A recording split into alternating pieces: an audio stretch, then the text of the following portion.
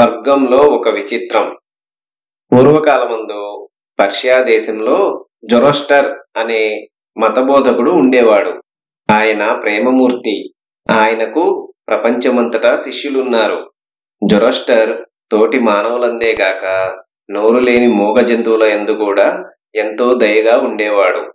ఆయన అలా ఉండడమే కాదు తన శిష్యులందరికీ కూడా ప్రపంచంలో ప్రతి ప్రాణిని పరమ దయాళువు అయిన ఆ పరమాత్ముడే సృష్టించాడు. కనుక ముఖ్యంగా నోరు లేని జీవాలను అతి ఆదరంతో చూసుకోవడం మానవుని విధి అని బోధ చేసేవాడు. కరుణానిధి అయిన ఇటువంటి జొరస్టర్కు ఒకనాడు ఒక కల వచ్చింది. ఆ కలలో ఒక దేవకన్య వచ్చి ఆయనను స్వర్గంలోకి నరకంలోకి తీసుకుపోయి అక్కడి వింతలన్నీ చూపించింది. జొరస్టరు దేవకన్య కలిసి ముందుగా నరకలోకం చూడబోయారు. అక్కడ ఎన్నెన్నో పాపాలు చేసిన దుర్మార్గులు రకరకాల శిక్షలను అనుభవిస్తున్నారు. వారు పడుతున్న యాతనలు చూడటం కష్టమనిపించింది జురోస్టర్కు అందరూ చూచుకుంటూ చివరకు ఒక వ్యక్తి వద్దకు వచ్చారు. ఈ మనిషికి ఒక కాలు లేదు. ఇతనిని గుర్తుంచుకునమని దేవకన్య జొరస్టర్తో అన్నది. తరువాత వారు బయలుదేరి స్వర్గలోకం చేరుకున్నారు. ఇక్కడకు ఎంతెంతో పుణ్యకార్యాలు చేసిన వారంతా వచ్చి కోరిన సౌఖ్యాలు అనుభవించి ఆనందిస్తూ ఉన్నారు. ప్రశాంతమైన వీరి జీవిత విధానం చూసి జొరస్టర్ కూడా ఆనందించాడు. ఈ సుఖజీవులు అనుభవించే రకరకాల సౌఖ్యాలు అన్నీ చూడడం పూర్తి అయిన తర్వాత చివరకు వారు ఒక విశాలమైన హాలులోకి వచ్చారు. ఆ హాలులో ఒక నవరత్న ఖచ్చితమైన దివ్య సింహాసనం దాని మీద ఒక కాలు జొరోస్టర్ కంటపడేసరికి ఇటువంటి సింహాసనం మీద ఎవరో ప్రభువులు చక్రవర్తులు కూర్చొని దర్బారు చేస్తారు గాని ఇదేమి చిత్రం? మానవుని కాలు ఒక్కటి మాత్రమే దీనిపైన ఉండడం ఏమిటి? పైగా దేవుణ్ణి కొలిచినట్టుగా ఇక్కడి ప్రజలందరూ వచ్చి ఆ కాలిని గౌరవించడం ఏమిటి? అని జొరోస్టర్ ఆశ్చర్యంతో దేవకన్యను అడిగాడు.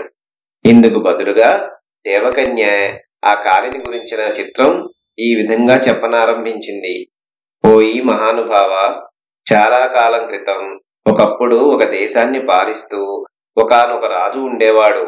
ఆ రాజుకు ప్రాణంతో ఉన్న మనుష్యులను జంతువులను హింసించటం ఒక వినోదంగా ఉండేది.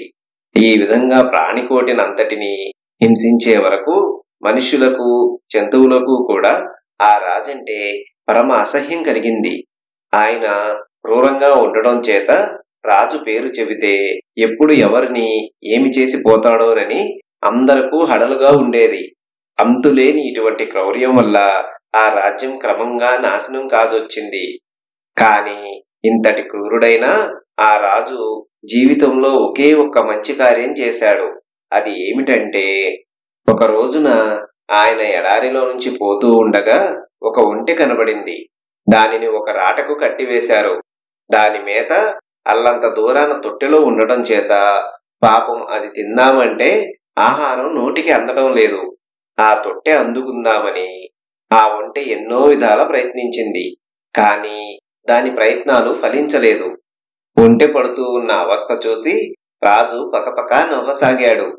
ఏ కళనున్నాడో గాని ఆయన వినోదంగా ఆ తొట్టెను కాలితో ఒక్క తన్ను తన్ని తిరిగి తన దారిన తాను వెళ్ళిపోయాడు నిజానికి ఆ ఒంటెకు ఉపకారం చేద్దామనే ఉద్దేశం రాజుకు ఏ కోశానా లేదు. అయినా దాని అదృష్టం కొద్దీ ఆ తన్నుతో తొట్టె ఒంటి చేరువకుపోయి దాని నోటికి ఆహారం సరిగ్గా అందింది.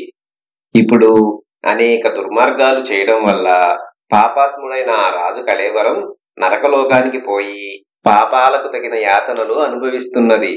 పోతే తెలిసి తాకినా తెలియక తాకినా నిప్పు కాలుతుందన్నట్టుగా ఉద్దేశం లేకపోయినా వినోదార్థమే అయినా రాజు కాలు కొద్దిపాటి పుణ్యమే చేసుకోవడం మూలాన పుణ్యం చేసుకున్న ఆ కాలు స్వర్గలోకంలో సింహాసనం మీద అలంకరించి అందరి చేత గౌరవించబడుతున్నది అని చెప్పింది. దేవకన్య ఈ కథ ముగించగానే జొరోస్టర్కు మెలకువ వచ్చింది. అప్పటి నుంచి పుణ్యపాపాలను గురించిన ఈ చిత్రకథ ఆయన శిష్యులందరికీ చెప్పి మూగజీవాల ఎందు కూడా దయ కలిగి ఉండండి. పుణ్యం వస్తుంది అంటూ బోధించసాగాడు. థ్యాంక్స్ ఫర్ వాచింగ్ ఈ వీడియో మీకు నచ్చినట్లయితే లైక్ చేయండి. మీ ఫ్రెండ్స్తో షేర్ చేయండి. మరిన్ని వీడియోస్ కొరకు మా ఛానల్ను సబ్స్క్రైబ్ చేయండి. అలాగే పక్కనే ఉన్న బెల్ బటన్ను క్లిక్ చేయడం ద్వారా మా లేటెస్ట్ అప్డేట్స్ మీరు ఎప్పటికప్పుడు తెలుసుకోవచ్చు.